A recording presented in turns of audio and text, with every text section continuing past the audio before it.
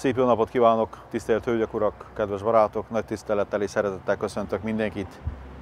Így lassan évvége felé közeledve beszámoló filmekkel fogok jelentkezni, melyek voltak azok a munkálatok, amelyet 2015-ben sikeresen végig tudtunk csinálni, és melyek voltak azok a kudarcaink, amelyet a sok munka ellenére is sokszor nem tudtunk megcsinálni úgy, ahogyan szerettük volna, vagy legalábbis nem abban az ütembe, ahogyan szerettük volna.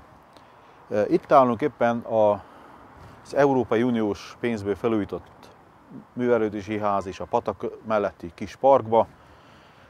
Ezt a parkot és az egészségházat egy integrált pályázattal pályáztuk meg. Az integrált pályázat szó azt jelenti, hogy egyszerre több munkálat, más-más fajta munkálat is beletartozik, és hát így sikerült meg Ditróba létrehozni ezt a kis parkot, amelynek jövőben szeretnénk a folytatását is. A patakon túl, hogy áttekintünk, látszik, hogy gyakorlatilag egy kicsit valamilyen szinten rendezett, tehát tiszta, de nincs kiépítve itt semmi. Az elkövetkező évben ennek a parknak a folytatásaként át fogunk építeni egy hidat a patak fölött, és a pataknak a folyás irányi baloldalát is úgy meg fogjuk tudni csinálni, fával kiépítve, mint most a jobb oldalát, és gyakorlatilag egy nagy körforgást alkotva, egy körforgalmat úgy is lehet mondani, le lehet jönni itt majd a lépcsőn, átmegyünk a hídon, túlfelül lesz egy lépcső az órás műhely mellett, fölmegyünk, és gyakorlatilag itt egy olyan teret tudunk kialakítani, amelyet az ifjaknak szálljuk elsősorba, de bárki másnak. A patak baloldali részén itt ki lesz alakítva majd egy játszótér, és hát itt ebben a játszótérben elsősorban nem a gyerekekre gondoltunk, hanem azokra az ifjakra, a fiatalokra, esetleg fiatal családokra, akik majd itt eltöltenek néhány órát szépen. A játszótér elemek ugyanis nem csúszda lesz, hanem fitnessgépek lesznek, amelyek itt, amelyeken majd szórakozni lehet. A patak partján azon kívül ki van alakítva, jelen pillanatban itt négy filegória látszik, és a járdától befelé jövet a rendelő fele, itt ki lesz alakítva jövőbe stációk. Tematikus parká szeretnénk ezt alakítani, és hadd mondjam el, hogy az első stáció, ahogy éppen belépünk a járdáról, az a ditrói malmokról fog szólni, ott egy malomkerék lesz a patakba, amelyet a patak meghajt, jelezve ezzel, hogy Ditró valamikor híres malom község volt, nagyon híres molnárok laktak itt, és nagyon sokan. Ugyanebben a parkban kap helyet, kapott már helyet az a három filegória az alsó részén, ahol a Ditrói három iskola névadójáról lesznek elnevezve Puskás Tivadar, Siklódi Lőrinc és Csibi Andor. Az első kopjafát már föl is állítottuk, Budapest 8. kerület, Józsefváros és Ditro önkormányzata közös együttműködésével sikerült felállítani a falunapok alatt ezt a kopjafát, és Isten igazából csak ezt az egyet szerettük volna a falunapok alatt, tehát nem a park avató ünnepsége, csak a kopjafa avatót is, ez úgy gondolom sikerült is, ugyanis az volt a tervünk, és az a tervünk, hogy amikor teljesen kiépül a park, akkor legyen ennek a parknak az avató ünnepsége. Az előbb említettem a kopjafát, ugyanennek a kopjafának a hű mását az idén felállítottuk az ősz folyamán Budapest 8. kerület századosüti művésztelep udvarán. Ott élt ugyanis Siklódi Lőrinc, ott munkálkodott és ott halt meg. Így emléket tudtunk állítani ezzel egy híres Ditró szülöttjének, ugyanis Petres tanár úr bele is faragta a kopjafába, hogy a Ditrói Siklódi Lőrinc, aki született Ditróba és meghalt Budapest 8. kerületbe, a Fiumei temetőbe van jelen pillanatban eltemetve. A mellette lévő három filegória ugyanúgy ki fog bővülni még két kopjafával.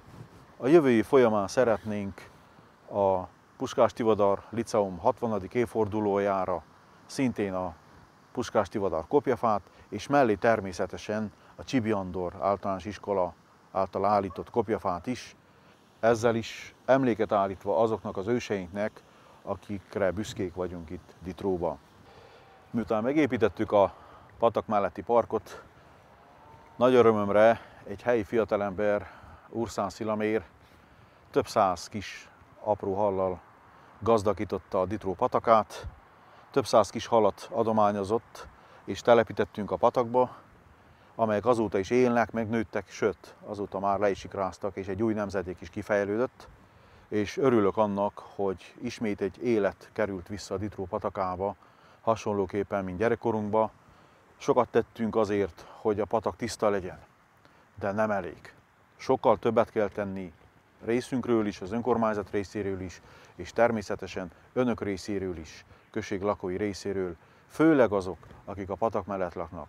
Igyekezzünk a szemetet ne a patakba dobni, igyekezzünk a patakot tisztán tartani, és akkor a jövő nemzedéknek is lesz ebből a patakból. Lesznek halak benne, és fogjuk élvezni közösen.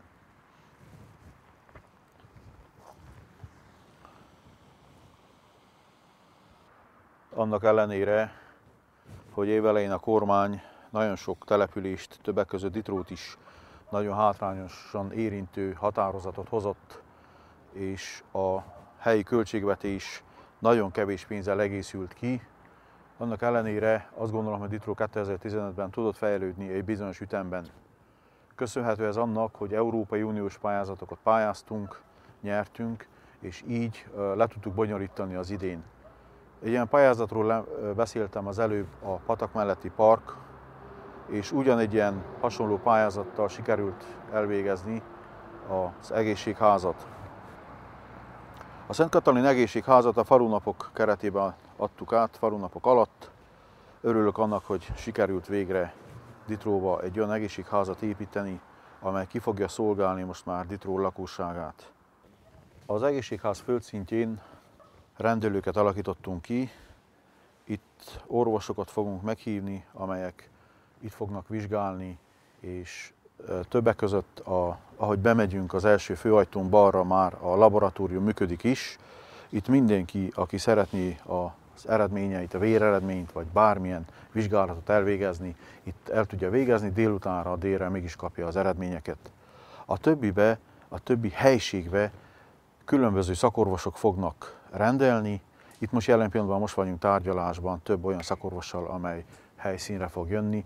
Természetesen itt tudni kell, hogy ezek a szakorvosok ugyanúgy bérért jönnek ki, tehát nem ingyenes lesz a vizsgálat, csak bizonyos betegségeknél, lásd a cukorbetegeknél, a többieknél gyakorlatilag ki kell fizetni a vizsgálati díjat, de azt tudni kell, hogy ugyanakkor az ember, a betegember elmenne mondjuk Csíkszeredába, Brassóba, Marasvásárhelyre, ugyanúgy ki kell fizetni ott majd a vizsgálati díjat. Itt megsporoltuk gyakorlatilag az utat, nem kell elutazni, sőt, még a laboratórium is közel van, és el tudják egyúttal ezt is végezni.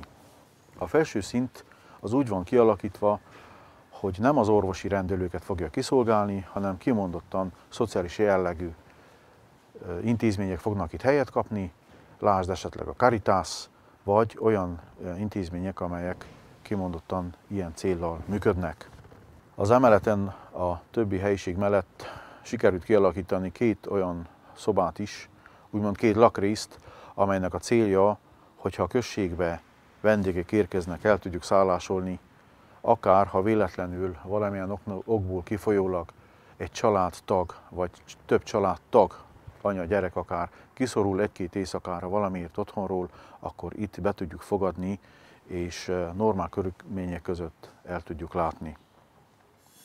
A Ditró központi részén talán az utolsó négyzetméter járdákat raktuk le itt az idén.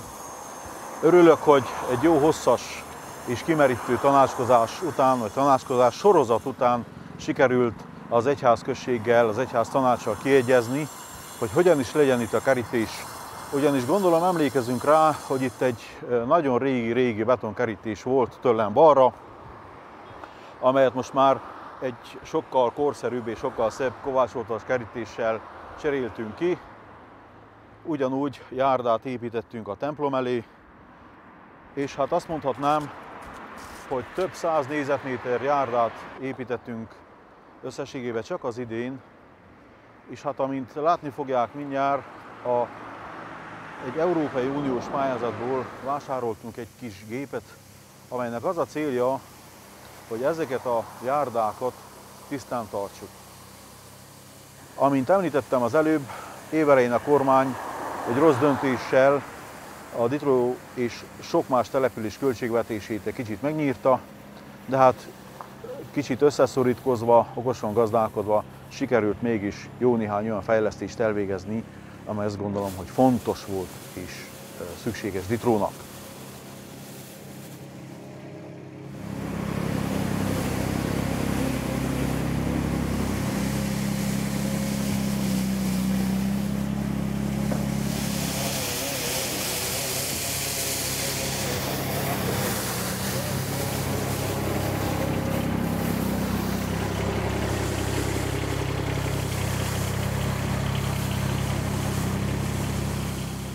Tisztelt Hölgyek, Urak, Barátok! Ennyi fért a mai beszámolómba. Rövidesen egy újabb beszámoló filmmel fogok jelentkezni az évvége fele, ahol más témákat is megpendítünk majd. Mindenkit a Jóisten áldjon, minden jót kívánok!